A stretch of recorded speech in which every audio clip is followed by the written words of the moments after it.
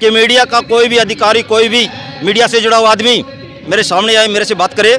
मैं उससे पूछना चाहता हूँ कि जो वीडियो उसने दिखाई है, हमारे देश की जनता को गुमराह किया है, मैं तो इसे एक तरह से बहुत बड़ा जुर्म मानता हूँ कि हमारे देश की जनता को जागृत होना चाहिए और उन मीडिया कर्मियों के ऊपर ऐसे पिक्चर दिखाने के उस जुर्म में उन पर केस करने चाहिए। नमस्कार दोस्तों फैक्ट टाइम में आपका स्वागत है। मैं हूँ आपके साथ विशाल बजाज। सीधी बात लोगों से कर रहे हैं क्या है रियल फैक्ट डेरा सच्चा सौदा का बाबा राम रहीम जी का जानते हैं सीधा लोगों से। नमस्कार सर। नमस्कार आपका नाम? धर्मवीर सर। क्या कहना चाहेंगे सर आप बाबा राम रहीम जी के बारे में डेरा सच्चा सौदा के बारे में? डेरा सच्चा सौदा के बारे में जितना भी ज़्यादा कहा जाए कम है। क्योंकि डेरा सच्चा सौदा एक ऐसी संस्था है जो कि हमारे हिंदुस्तान में ही नहीं वर्ल्ड लेवल पर काम करती है। इसकी जो साथ संगत है, वो देश में तो है ही, विदेशों में भी करोड़ों की तादाद में है। जो कि मानवता भलाई के कार्य करती है, ये जग ज़ाहिर है, किसी से छुपा हुआ नहीं है। क्योंकि जब भी कोई बड़ा लेवल लेवल पे कोई कार्य होगा तो वो सभी को दिखेगा। और डेरा सच्चा सौदा के जो संत है, गुरमीत राम रे मिस्किन जी इंसा वो अपनी संस्था के द्वारा, अपने जितने भी उनके शिष्य हैं, उनके द्वारा अपनी साथ संगत के द्वारा ऐसे ऐसे मानवता भलाई के कार्य करते हैं कि जो कि अपने आप में बेमिसाल हैं। डेरा सच्चा सौदा का मैं एक उदाहरण देना चाहता हूँ, जैसा कि आज बड़े उस पर क्या कहा जाता है कि भाई गंगा की सफ़ाई होनी चाहिए। पर गंगा की सफ़ाई अगर हम देखें राजनीतिक तौर पे तो वो सिर्फ़ कागज़ों तक सीमित है। पर डेरा सच्चा सौदा के एक संत गुरमीत राम रीम जी ऐसे संत है, जिनकी एक आवाज़ पर उनकी साथ संगत के द्वारा मात्र आठ घंटे में 25 किलोमीटर तक की जो गंगा है वो साफ़ कर दी गई थी। और वहाँ का जो प्रशासन है, उसको वो कूड़ा उठाने में, मात्र कूड़ा उठाने में उसको एक महीने का टाइम लगा था, जो कि अपने आप में एक बहुत बड़ी बात है कि एक प्रशासन के द्वारा सात संगत के द्वारा गंगा में से निकाला गया कूड़ा उठाने में एक महीना लगा हो तो आप ये सोच सकते हैं कि कितना कूड़ा सात संगत ने उसमें से निकाला होगा। दूसरा मैं उदाहरण देना चाहूँगा कि जैसे कि हमारे देश को आज़ाद हुए सत्तर साल से ऊपर बीत गए हैं। हर कोई अपना अपना डिंडोरा पीट रहा है राजनीतिक दल। पर मैं उनसे पूछना चाहता हूँ, क्या उनकी आँखें बंद थी? क्या उनके पास दिमाग नहीं था कि उन्होंने कभी ये नहीं सोचा कि हमारे समाज के अंदर एक किन्नर समाज रहता है, जिसको कि दुनिया वाले बुरी नज़रों से देखते हैं, बुरे बुरे नामों से उनको पुकारते हैं? कभी उन्होंने उसके बारे में सोचा ही नहीं। शायद उनको उनकी याद भी नहीं आई होगी। सोचना तो बहुत दूर की बात है।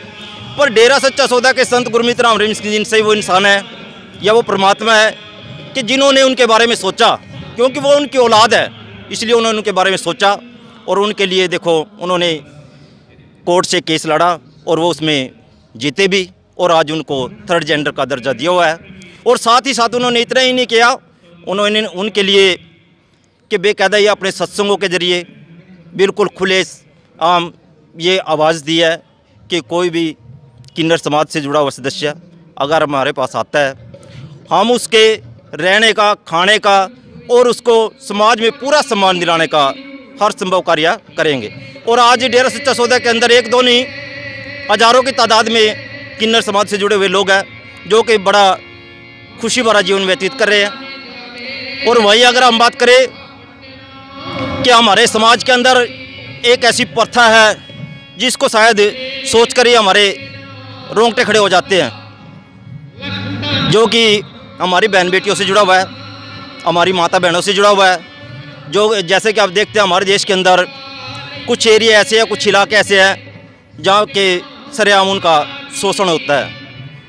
और मैं ये रा, राजनीति को के जितने भी चाहे वो किसी भी पार्टी से है और एक के नॉलेज में जाना चाहता हूँ कि वो जो अपनी आँखें खोले और देखे कि उन्होंने समाज के लिए किया क्या है, वो वोट तो मांगने के लिए आ जाते हैं, पर वो अपने आप के अंदर जाके कि उन्होंने आखिर किया क्या, देश को दिया क्या आज तक? हमारे जितने भी राजनीति के लोग हैं, उन्होंने पीछे क्या किया? उन माता बहनों को लाइसेंस बना के दे दिए कि आप ये दे व्यापार कर सकती हो। मगर डेरा सच्चा सौदा के संत गुरमीत राम रहीम सिंह जी ने उन माता बहनों के लिए, उन बेटियों के लिए खुले उस सत्र पे ये आवाज़ उठाई कि नहीं आप हमारी बहन हो, बेटी हो, हमारी माताएँ हो, आप इस गंदगी से निकल कर आइए। डेरा से सौदा दरबार में आपका इलाज कराया जाएगा। आपका पूरा मान सम्मान दिया जाएगा समाज में। और जो बेटियाँ हैं, उनका इलाज कराने के बाद अच्छे एजुकेटेड जो बच्चे हैं, उनके साथ उनकी शादी कराई जाएगी और उनको एक बढ़िया, अच्छी, शानदार ज़िंदगी जीने का मौका दिया जाएगा। और वो हुआ भी। हमारे सबके सामने है, किसी से छुपा हुआ नहीं है ये। कि बेशक आज राजनीति के लोग मुँह फेर ले इस बात से। मैं उन लोगों को बिल्कुल सरेआम ये संदेश देना चाहता हूँ कि जो लोग बाबा जी की तरफ़ उंगली करते हैं या बाबा जी को बदनाम करने की कोशिश करते हैं, मैं उनको सरेआम ये कहना चाहता हूँ कि वो अपनी आँखें खोले, अपने गिरेबान में जाके अपनी आत्मा को टटोले, कि डेरा सच्चा सौदा के संत ने जो कार्य किया है, कि उसके आह्वान के बाद कुछ हमारी माता बहनें हमारी बेटियाँ वहाँ से गंदगी में से निकल करके आई हैं, डेरा सच्चा सौदा के अंदर, और उनका जो है इलाज कराया गया है और इलाज कराने के बाद ही नहीं छोड़ा उनको। उनको अपना नाम दिया गया, जो कि एक बहुत बड़ी बात है। उनको अपना बाप का नाम दिया है, संत गुरमित राम रहीम सिंह जी इंसान ने। बाप का नाम देना और उनके साथ में उनकी शादियाँ कराना, वो भी किसी आम इंसान के साथ नहीं।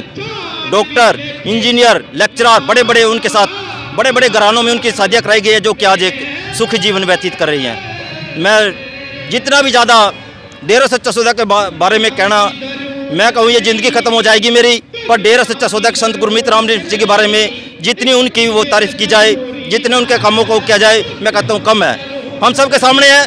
बिल्कुल देखो वैसे आ, कहते हैं कि इंसान का कार्य रुक सकता है पर परमात्मा का कार्य कभी नहीं रुकता। आप जानते हो कि डेरा सच्चा सौदा के संत के गुरमीत राम सिंह जी के जेल में जाने से पहले 133 मानवता भलाई के कार्य उन्होंने चलाए हुए थे। मगर जेल में जाने के बावजूद भी उन्होंने अपना कार्य को बंद नहीं होने दिया।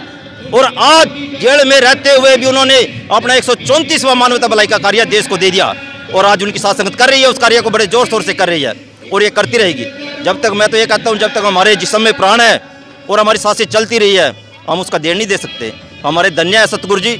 मैं तो कहता हूँ कि हम कहीं भी रहे कि हे सतगुरु, हमेशा हमें अपने चरणों में लगा के रखना। देखिए, उसके बारे में मैं बिल्कुल स्पष्ट कर देना चाहता हूँ कि मीडिया के द्वारा कुछ अफवाहें फैलाई गई हैं। यहाँ वहाँ से कुछ पिक्चरें इकट्ठी की गई है, तस्वीरें इकट्ठी की गई है, जो कि डेरा सच्चा सौदा की नहीं है। बिल्कुल स्पष्ट मैं कर देता हूँ कि मीडिया का कोई भी अधिकारी, कोई भी मीडिया से जुड़ा हुआ आदमी मेरे सामने आए, मेरे से बात करे। मैं उससे पूछना चाहता हूँ कि जो वीडियो उसने दिखाई है, हमारे देश की जनता को गुमराह किया है, मैं तो इसे एक तरह से बहुत बड़ा जुर्म मानता हूँ कि हमारे देश की जनता को जागृत होना चाहिए और उन मीडिया कर्मियों के ऊपर ऐसे पिक्चर दिखाने के उस जुर्म में उन पर केस करने चाहिए।